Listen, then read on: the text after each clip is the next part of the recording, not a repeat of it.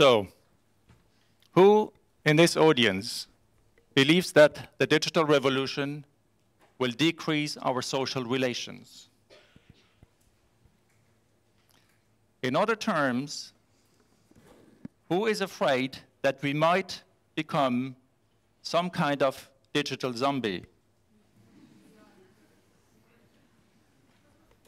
So, I see many hands. So those who raised their hands and those who didn't dare to do so, you must listen to me. For all the others, you can continue. now, this was my office not so long ago. And I can see some gray hair, and therefore, this must talk to you as well.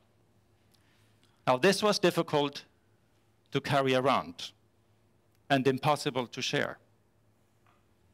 Luckily, all of this has disappeared. It has dematerialized. Even the desk has become obsolete. The desk of my children is their bed. Now, unfortunately, it has also become the dining kitchen, or kitchen room, if you see what I mean. Now, where has the desk gone?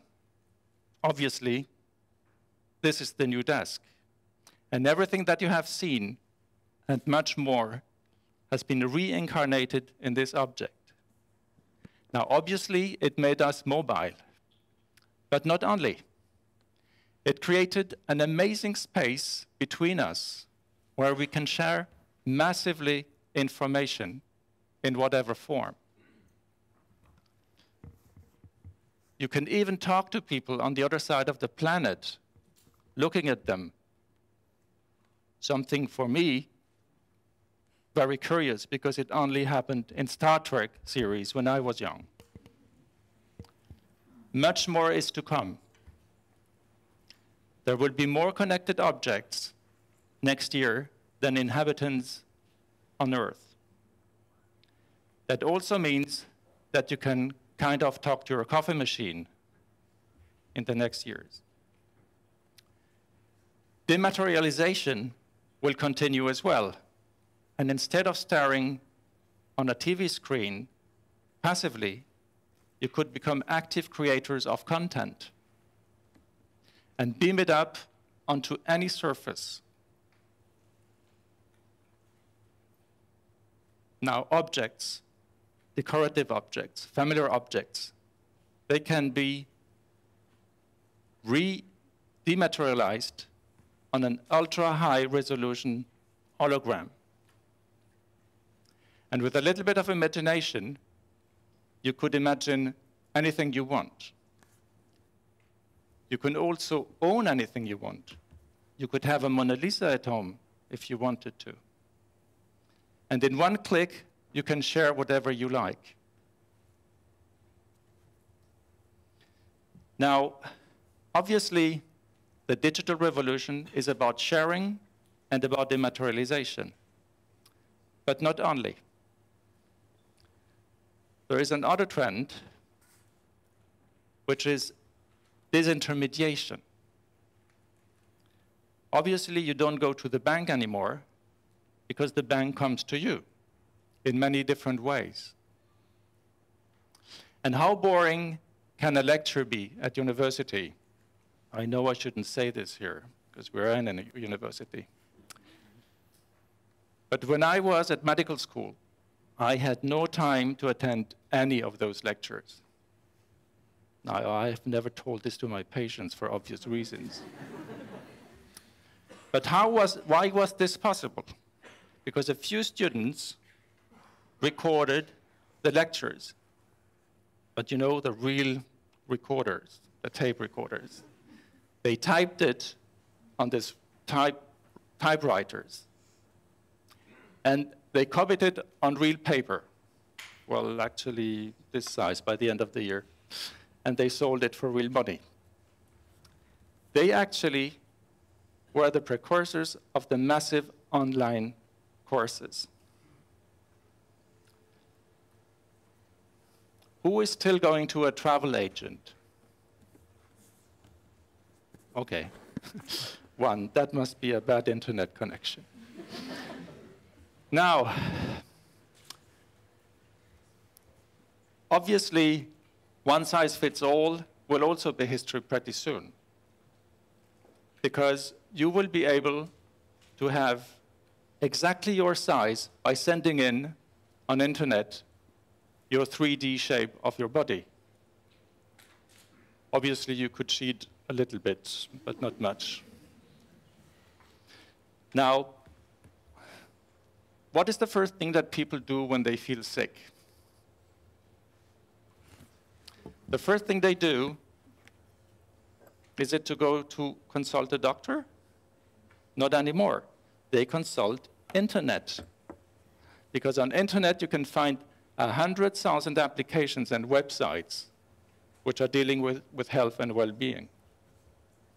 Now, this can be either hell or haven for hypochondriacs, of course. I could go on and on with these type of examples. Translators, for example, will be an extinct species pretty soon. Now, what this shows is that we will be more empowered with this new technology and that we will become one of a kind and not, not just one among many. There is yet something else to come. I call this recentration.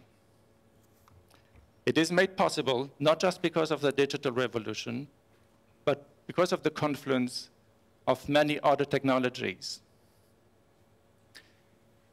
In our modern lives, there are so many things we have lost control over, but we could regain power over it. Take energy, for example.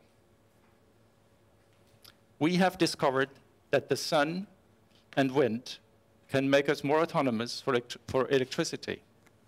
The next step will be hydrogen fuel cells, which will make us even more autonomous. Take also water. You could collect water from the sky, especially in this country, I can tell you. Uh, and you could indefinitely recycle it. And why not giving a second life to the waste with bioreactors. Food. Why don't we have just flat roofs where we could have urban gardening? Not only would you have fresh vegetables, but you could connect much better with your neighbors. And again, recycling would also be beneficial. Another example, leisure.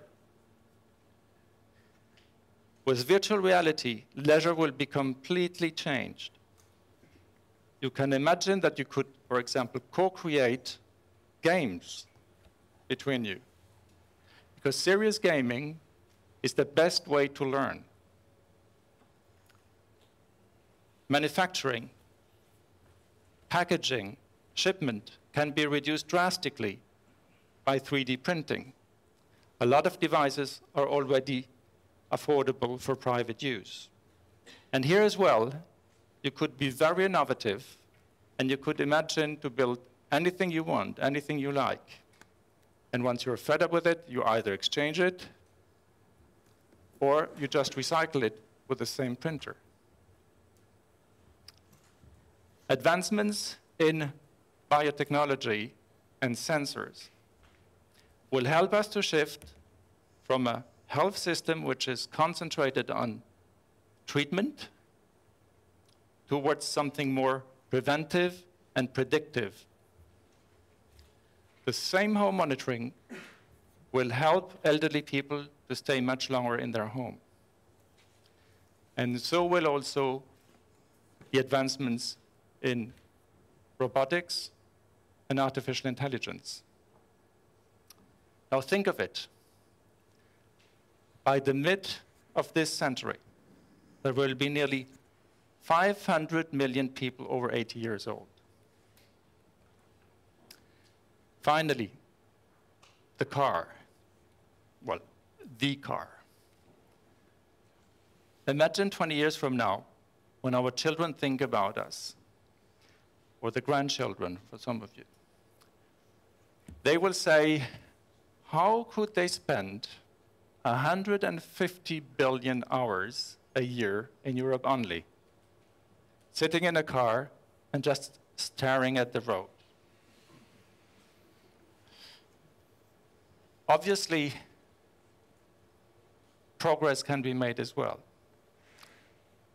One self-driving car could replace 10 regular cars if we believe that sharing and pooling is the solution. Now, ladies and gentlemen, what I would like to say with this advancement in technology is that we have a unique opportunity to change from a passive consumer to an active citizen. This same technology will help us to care more about us, about others, and about the environment. In one sentence, it will make us better human. But what does it actually mean to be a human? That needs a little bit of backwinding. What was before the digital age? Well, the Stone Age, in short, I admit. Uh, since the dawn of humanity, our genes tell us that we have to have things that we have to own to survive. Obviously, already at that time, there were some increpancies.